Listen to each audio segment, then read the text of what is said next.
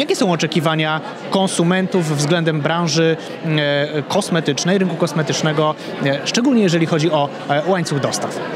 Punktu widzenia logistycznego głównym wymogiem klientów jest to, aby produkt był, co też dzisiaj słyszeliśmy podczas wystąpień, podczas forum, E, istotne jest, aby towar był zawsze na czas w odpowiedniej e, ilości. Do tego dostarczony w e, sposób jak najbardziej ekologiczny, z wykorzystaniem jak najbardziej ekologicznych materiałów.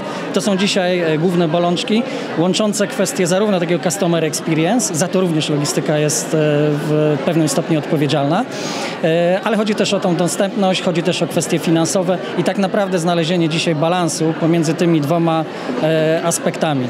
Tego oczekuje dzisiaj klient. Towar musi być natychmiast. E, towar musi być zawsze dostępny. E, jednocześnie też, e, jeżeli chodzi o zwroty, konieczne jest w tej chwili, aby te doświadczenie zakupowe było takie samo w retailu, jak i w online.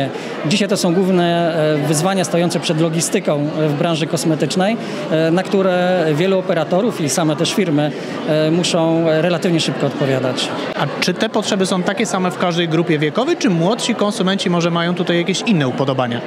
Paradoksalnie y, jest odwrotnie proporcjonalne. Y, Im młodsi konsumenci, te wymagania są wyższe. Można by powiedzieć, dzieci są bezkompromisowe. Y, Im ta średnia wieku rośnie, tym też zwiększa się jak gdyby świadomość konsumentów. Natomiast faktem jest, że dzisiaj firmy kosmetyczne muszą być tak naprawdę skupione na wszystkich grupach wiekowych swoich odbiorców i tym samym dostosowywać standardy do tych najbardziej wymagających, mając wtedy pewność, że wszystkie grupy wiekowe, wszystkie grupy konsumentów e, będą zadowolone.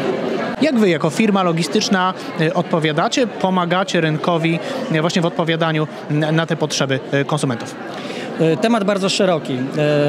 Zawsze współpraca chociażby z operatorem logistycznym przez firmę jest decyzją strategiczną. Widzimy wiele profitów, o których też mówiliśmy dzisiaj podczas forum kosmetycznym. Po pierwsze, operator zewnętrzny jest w stanie pomóc lepiej e, ułożyć te procesy, bazując na swoich doświadczeniach, często międzynarodowych. Przenieść jakieś best practices z jednego biznesu e, do drugiego. Dwa, w dzisiejszym świecie tak naprawdę logistyka staje się też, logistycy stają się też partnerem finansującym. E, niezbędne inwestycje skalowanie biznesu, który będzie przygotowany na wyzwania przyszłości. Dzisiaj ogromny jest trend związany z redukcją kosztów, jeżeli chodzi o inwestycje w automatyzację i nowoczesne technologie. Dla wielu firm jest to duży wyczyn. Tym bardziej, że muszą się skupić na zarządzaniu bardzo dynamicznym rynkiem, e, bardzo wymagającym klientem e, i nie rozpraszać tych swoich zasobów e, na inne aktywności. Współpraca z takim operatorem przynosi dzisiaj ogromne korzyści. Jak mówię, ten wpływ jest wieluwarstwowy i wymaga bardzo często od tych firm strategicznego jak gdyby podejścia do, do tego problemu.